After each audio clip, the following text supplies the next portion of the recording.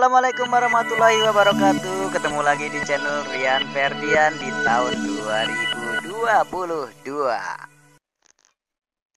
Assalamualaikum warahmatullahi wabarakatuh Beberapa hari ini media pemberitaan Indonesia dihebohkan dengan berita seorang siswi di SMA Negeri 1 Banguntapan Kabupaten Bantul yang mengalami depresi setelah diduga dipaksa untuk mengenakan jilbab oleh guru di sekolahnya.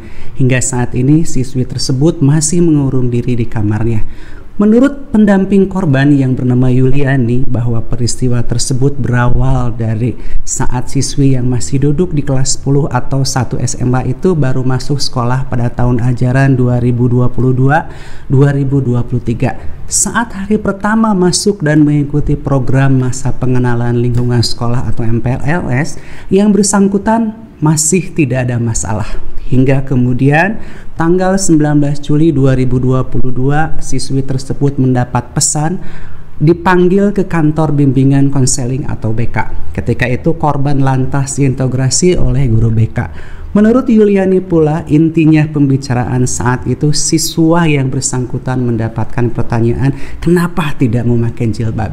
Sementara siswi tersebut mengakui bahwa dirinya belum mau dan belum siap mengenakan jilbab meski saat itu ayahnya sudah membelikannya.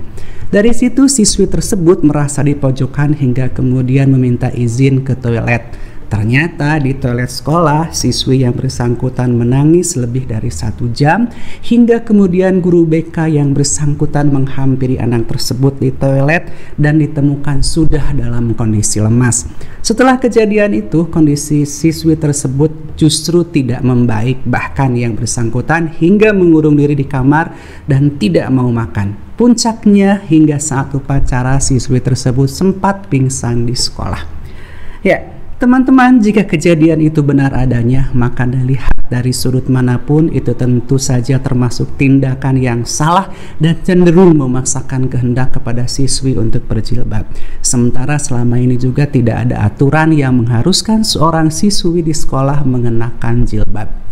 Terlebih ketika sekolah itu adalah sekolah umum yang siswanya datang dari berbagai karakter serta latar belakang yang berbeda, Mungkin pengecualian bagi sekolah itu adalah sekolah yang berbasis agama. Tentu saja anjuran mengenakan jilbab itu sudah menjadi sebuah kesepakatan konsekuensi siswa ketika mendaftarkan diri.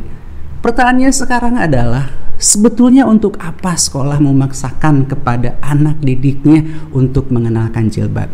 Kemudian adakah sebuah keharusan bagi siswa perempuan mengenakan jilbab di lingkungan sekolah? Dan Seberapa besar jilbab berpengaruh kepada prestasi anak di sekolah? Memang bagi perempuan muslim adalah sebuah perintah kewajiban untuk menutup aurat. Namun ketika kita kaitkan dengan lingkungan yang memaksakan untuk mengenakan jilbab, rasanya itu adalah sebuah kekeliruan pemaksaan kehendak kepada individu yang bersangkutan sehingga pada akhirnya yang bersangkutan akan berada dalam situasi tertekan dan kalaupun menurutinya itu adalah sebuah keterpaksaan saja bukan datang dari panggilan hati dan kesiapan secara mental. Saya masih ingat dengan apa yang dikatakan salah seorang tokoh muslim Quraisy Shihab bahwa memakai jilbab itu baik namun jangan memaksakan karena memakai jilbab itu harus atas dasar kesadaran dalam diri bukan karena keterpaksaan. Sementara itu menurut Buya Yahya beliau mengatakan bahwa memakai kerudung atau jilbab itu hukumnya adalah wajib. Namun jika Anda belum mampu memakai jilbab, cukup mengucapkan istighbar, tidak perlu menghalalkannya. Dan menurut saya dan juga mungkin Anda yang di luar sana, yang paling penting adalah ketika kita belum siap untuk mengenakan jilbab, berpakaianlah secara baik dan terhormat dengan mengedepankan kemuliaan dan memuliakan anggota tubuh kita sebagai anugerah dari Yang Maha Kuasa.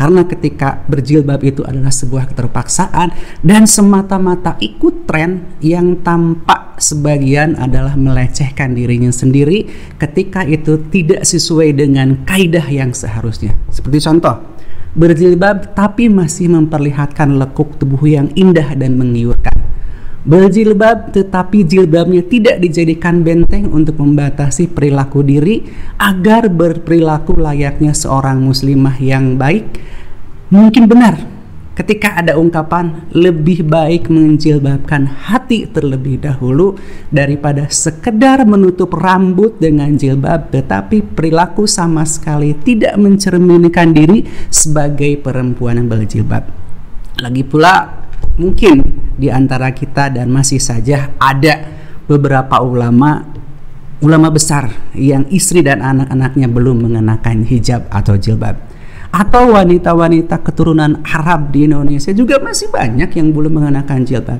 Jadi intinya jilbab itu bukan sekedar identitas semata tapi lebih kepada kesiapan perempuan untuk mengenakannya.